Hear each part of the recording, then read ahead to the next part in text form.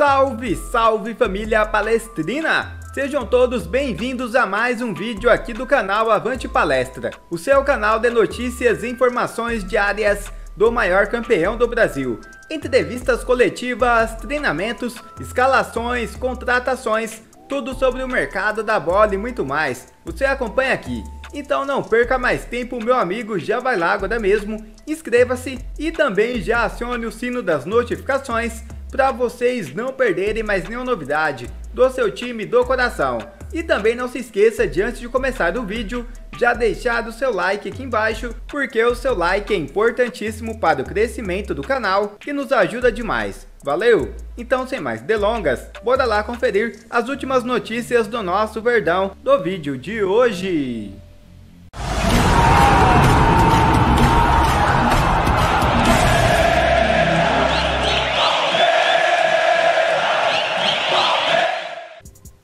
Eu já começo te contando que mesmo com o elenco de folga, Dudu treina na academia de futebol do Palmeiras. É isso mesmo, grupo comandado por Abel Ferreira tem reapresentação marcada para quarta-feira. No entanto, a terça-feira não foi de folga para Dudu. Mesmo com o dia livre, o atacante do Palmeiras foi até a academia de futebol para realizar uma atividade física. Em uma rede social, o jogador que recuperou a posição de titular na equipe de Abel Ferreira publicou uma foto no centro do excelência do CT do Verdão, ao lado do preparador físico Thiago Maldonado e do fisioterapeuta Marcelo. O elenco do Palmeiras ganhou folga após a vitória contra o Atlético Paranaense no último sábado. A reapresentação do grupo será na manhã desta quarta-feira na Academia de Futebol. A mudança na tabela da próxima rodada do Campeonato Brasileiro permitiu um período maior de descanso. O jogo contra o Ceará, que seria disputado no dia 5, foi adiado pela CBF por causa da convocação do goleiro Everton para a seleção seleção brasileira, do zagueiro Gustavo Gomes e do lateral esquerdo Joaquim Piquerez para as seleções de Paraguai e Uruguai, respectivamente, por conta das eliminatórias sul-americanas. O próximo jogo do Verdão será somente no dia 12 de setembro, quando a equipe comandada por Abel Ferreira recebe o Flamengo no estádio do Allianz Parque, às 16 horas horário de Brasília, pela vigésima rodada do Brasileirão. Bom, mas e aí, rapaziada? Na sua opinião, Dudu indo treinar no dia de folga, vocês acham que isso mostra um pouco porque ele é ídolo no Verdão? Deixe a sua opinião aqui nos comentários do vídeo, beleza? Bom palestrinos e já mudando de assunto, atacante não terá contrato renovado no Palmeiras e será devolvido ao Vitória. É isso mesmo, emprestado até dezembro junto ao Vitória da Bahia, o atacante Luan Silva não terá o seu contrato renovado pelo Verdão. A sequência de lesões preocupa e o jogador será devolvido. Contratado em março de 2019, Luan Silva fez apenas uma partida, jogou diante da Ferroviária pelo Campeonato Paulista do ano passado e se machucou nos primeiros minutos em em campo. Em 2020 passou por uma cirurgia e até o momento não conseguiu se recuperar 100%. O primeiro contrato de empréstimo venceu em maio de 2020. A diretoria palmeirense postergou até o final de 2021 e comprou 15% dos direitos federativos. Existiu confiança de que o atacante poderia mostrar o seu potencial, mas isso não aconteceu. Luan Silva passou por três cirurgias e recuperação de um grave problema muscular. O atacante ainda tem contrato com o Alviverde até o dia 31 de dezembro. Depois disso, será devolvido. Bom, mas e aí, rapaziada, na sua opinião? Vocês acham que o Palmeiras tomará a melhor atitude em relação ao Luan Silva? Deixe a sua opinião aqui nos comentários do vídeo também, beleza?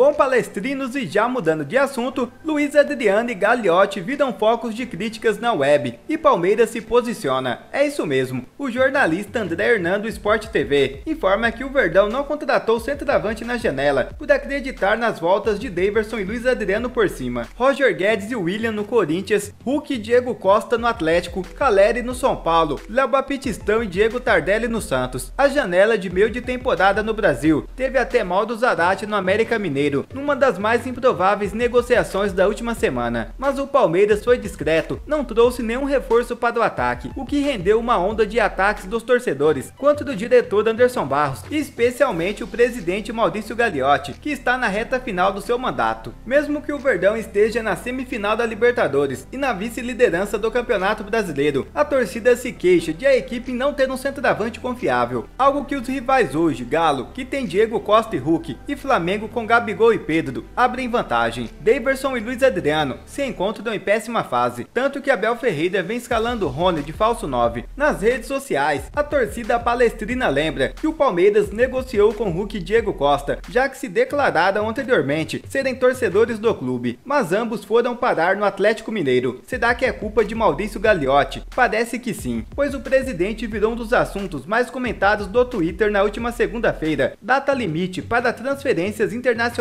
por aqui. Daverson não balança as redes há exato dois meses, enquanto que Luiz Adriano amarga um tabu ainda maior. Não marca desde o dia 6 de junho, sem contar que na maioria dos jogos o palestra cria muitas oportunidades, mas peca exatamente na eficiência, algo que tem tirado o sono de Abel Ferreira e da sua comissão técnica. Parte da torcida também não entendeu e não concordaram com o empréstimo do atacante Miguel Borja, um dos artilheiros da Libertadores 2021, ao Grêmio. Mas a negociação do colombiano fez parte de uma estratégia criada pela direção do Alviverde para manter os destaques revelados na base até o final da temporada. A direção palmeirense quer equalizar o caixa e para isso está trabalhando para negociar jogadores que poucos são utilizados pelo técnico Abel Ferreira. Assim, o clube pode ter mais segurança para recusar possíveis propostas que podem surgir para revelações da base. A saída de Borja dará uma economia de quase 10 milhões de reais ao Verdão, já que o Grêmio pagará os salários do camisa 9 até o final da temporada 2022. Além disso, o tricolor gaúcho pagará 6 milhões de reais pelo empréstimo do atacante colombiano. Há pouco, o jornalista André Hernan, do Sport TV, informou o posicionamento do Palmeiras sobre não reforçar o ataque nesta janela. Abre aspas. O clube entende que o mercado foi positivo com as vindas de Piquerez, Jorge e Matheus Fernandes e o retornos de Daverson e Dudu. O Palmeiras sabe da preocupação da torcida em relação a atacante, mas a direção entende que Daverson e Luiz Adriano são os nomes para disputar Libertadores e Brasileirão. Fecha aspas, informou o jornalista sobre o posicionamento da diretoria. Bom, mas e aí, rapaziada, na sua opinião, vocês acham que o Palmeiras errou no planejamento? E se o clube ficar sem título esse ano, pode colocar na conta de Gagliotti e Anderson Barros? Deixe a sua opinião aqui nos comentários do vídeo também, beleza?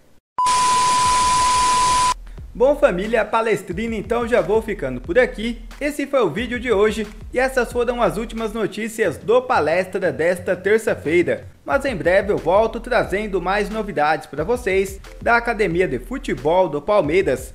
Então se você ainda não é inscrito aqui no canal, não perca mais tempo, meu amigo, já vai lá agora mesmo, inscreva-se e também já acione o sino das notificações para vocês não perderem mais nenhuma novidade do seu time do coração. E também não se esqueça de antes de encerrar o vídeo, já deixar o seu like aqui embaixo, porque o seu like é importantíssimo para o crescimento do canal, além de nos incentivar a estar aqui todos os dias buscando, pesquisando e trazendo todas as informações do Alviverde em primeira mão para você. Valeu! Então, muito obrigado a todos que assistiu e acompanhou esse vídeo até o final. Fiquem todos com Deus, aquele forte abraço e eu espero você aqui amanhã no próximo vídeo. Fui!